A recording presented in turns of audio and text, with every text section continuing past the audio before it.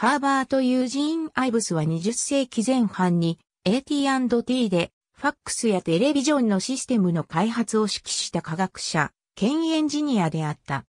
1938年のアイブズ・スティルウェルの実験が最も知られており、その実験では特殊相対性理論の時間の遅れが直接立証されたが、アイブス自身は特殊相対性理論を受け入れず、代わりに実験結果の別の解釈を主張した。ペンシルベニア州フィラデルフィアで、フレデリック・ユージーン・アイブスとメリー・オルムステッドの間に1882年7月21日にアイブスは生まれた。ペンシルベニア大学とジョンズ・ホップキンズ大学で勉強して1908年に卒業した。同じ年にメーベル・ローレンツと結婚して3人の子供を持った。1920年、航空機部門の幹部が軍によって占められていた頃に航空写真についての本を書いた。1924年から1925年までアメリカ工学会の代表を務めた。ベル研究所では電気工学研究の主任を務めた。父親のフレデリック・ユージーン・アイブスのようにハーバートも、またカラー写真の専門家だった。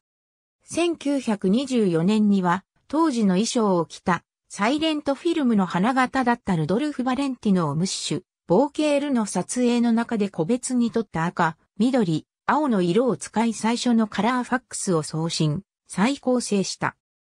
1927年には、その時の商務長官だったハーバート・フーバーのライブビデオ映像をニュージャージー州ホイッパニーにある AT&T の実験施設の 3XN を通して送信を行い、メディアの取材者とフーバーとの会話をできるようにして、185本の操作線の長距離間テレビジョンの実演がアイブスによって行われた。1930年までにはテレビ電話システムが公認された上で使用実験が行われていた。1930年代のベル研究所の大きなニューヨークの研究施設では、アイブス博士と200人以上の科学者によるチームによって研究開発に何年も費やされていた。長距離通信とエンターテインメント放送の両方を目的として、ベル研究所ではテレビ電話やテレビジョンの開発を予定していた。アイブスの退任から長い年月が経ってからも、ベル研究所では音声と映像を組み合わせた電話の研究を続けるために5億ドルを超える予算が投じられ、最終的に AT&T による先進的なピクチャーフォンの展開につながった。父親と同じように、アイブスはオートステレオスコピーによる 3D 画像表示に興味があった。1920年代後半から1930年代前半のベル研究所の在任中には、パララックスパノラマグラムスと名付けた 3D 画像の作成手法とその装置の開発に取り組んだ。ジャーナル・オブ・ザ・オプチカル・ソサイティ・オブ・アメリカにおいて、この分野の成果に関したいくつかの記事が載せられ、発明に関した数多くの特許が認められた。ヘンドリック・ローレンツの哲学に習い、論理的な議論と実験によって、相対論的効果の物理的な実在性を実演しようとした。特殊相対性理論の時間の遅れが直接立証されたアイブズ・スティルウェルの実験を行ったことで一番知られている。しかし、アイブス自身は実験はエーテルの存在の立証であり、また間違った考えに基づき、当然相対性理論への反証であるとも考えた。科学コミュニティが実験に対して自身の予想とは反対の解釈をしたことにアイブスは落ち込んだ。この後、アイブスは相対性理論について取り組み、一連の記事を公表した。その中で単一の座標系の観点で相対性理論の現象を説明した。著名な物理学者のハワード・ロバートソンによって、アイブスの電気の中で、アイブスの特殊相対性理論に対する態度についての次に示す概要が寄稿されており、この研究に対する矛盾した様相について解説がなされている。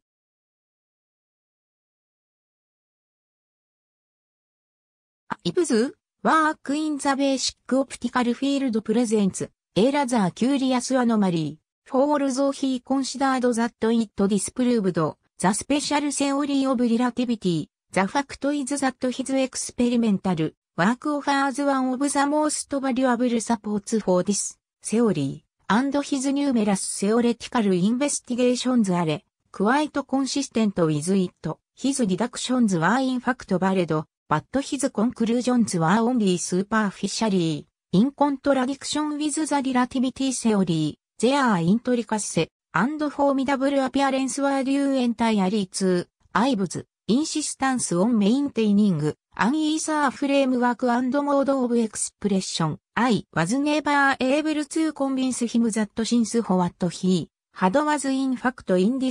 シュブル in its predictions from the relativity theory within the domain of physics, it was in fact the same theory. アイブスは実験の研究成果は相対性理論の反証になると考えたのに対し、実際は相対性理論の最も重要な根拠の一つになったように、彼の数多くの理論的な研究は相対性理論と全く矛盾せず、基礎工学分野におけるアイブスの研究はなかなか奇妙で変則的なことになっています。推論は確かに正しかったのですが、アイブスの結論と相対性理論とはただ表面上は反しているだけでした。彼の出した結論が複雑で手に負えないように見えるのは、完全にエーテルの枠組みや表現法の維持をしようとしたことによるものでした。物理学の領域においては、確かにアイブスによる理論の予測上は、相対性理論と